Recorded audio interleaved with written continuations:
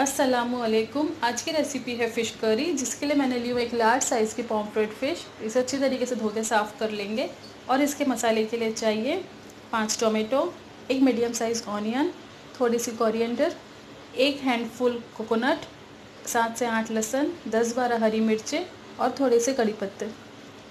और एक teaspoon black pepper powder एक टीस्पून ज़ीरा सॉल्ट टू टेस्ट एक टीस्पून हल्दी, एक टीस्पून लाल मिर्च पाउडर और तड़के के लिए चाहिए दो चॉप्ड गार्लिक एक टीस्पून ज़ीरा और 10 से 12 कड़ी पत्ते। सबसे पहले इन सारे मसालों का पेस्ट बना लेंगे और इस पेस्ट बनाने के टाइम पे ब्लैक पेपर और ज़ीरा भी ऐड करके इसका भी पेस्ट बना देंगे। और अब देखते हैं इसे बनाने का तरीका। अब एक पैन लेंगे और उसमें हाफ़ कप ऑयल डालेंगे।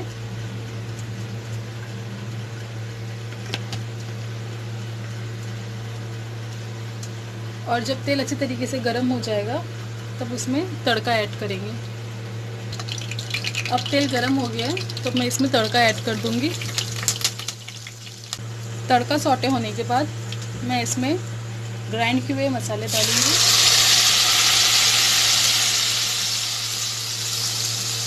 और इसमें थोड़ा सा पानी भी ऐड करूँगी मसालों को।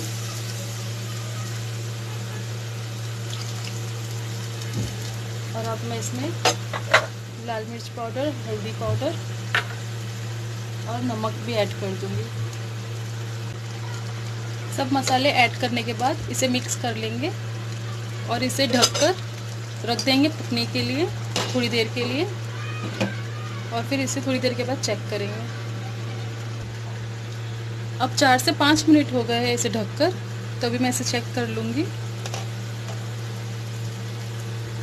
इसका पानी सूख गया है। तो मैं इसे अभी और दो या तीन मिनट के लिए और भूनूँगी। और जब ये अच्छे तरीके से भून जाएगा, तब मैं इसमें एक गिलास या डेढ़ गिलास पानी ऐड करूँगी। अब ये दो तीन मिनट हो चुके हैं इसे भूनकर, और इसका तेल भी ऊपर आ गया। तो अब मैं इसमें एक से डेढ़ गिलास पानी ऐड करूँगी। आप अगर और पतली ग्रेवी चाहते हो तो इसमें दो गिलास पानी ऐड कर देना। जब इसमें पानी में बॉईल आ जाएगा, तब मैं इसमें फ़िश ऐड कर दूँगी।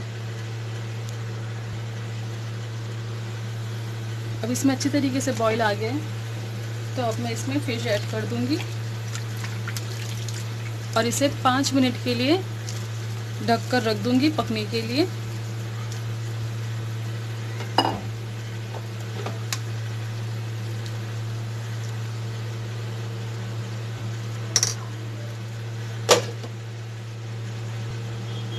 अब पाँच मिनट हो गए हैं तो अब मैं इसे चेक करूँगी।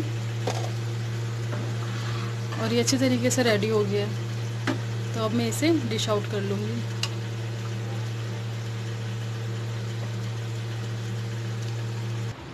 अब मेरी रेसिपी रेडी हो चुकी है।